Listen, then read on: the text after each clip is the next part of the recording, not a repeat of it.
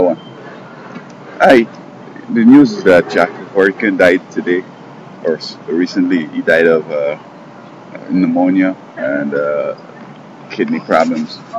Now, as a pathologist and as a serious medical, I wonder if he ever thought that perhaps this was it. But the question is whether he would have chosen his favorite way of having folks exit, would he have done a, a euphemism? Would he have, uh, you know, taken that little thing and kill himself? Because I mean, this is what he had been advocating. But you see, I guess people are terminal and they, you know, and they really, you know, want to die and so on and end the suffering. And uh, probably he still wanted to live and, and, have some more fun. But I mean, uh, would he have ever thought of uh, doing himself that? You know, taking a thing and inject himself and die?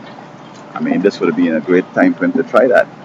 But uh, I think he basically he, he, doesn't want that. He just wants to, um, you know, make fun of uh, see folks go down, but uh, he he's not gonna do it for himself.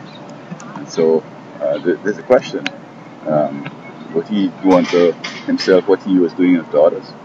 Um, would he have found that very humane and so forth way to go, or he just was hoping to hold on to life and hoping that it would work, but uh, you know uh, he didn't recognize this was it, and so um, he happened to expire in the hospital.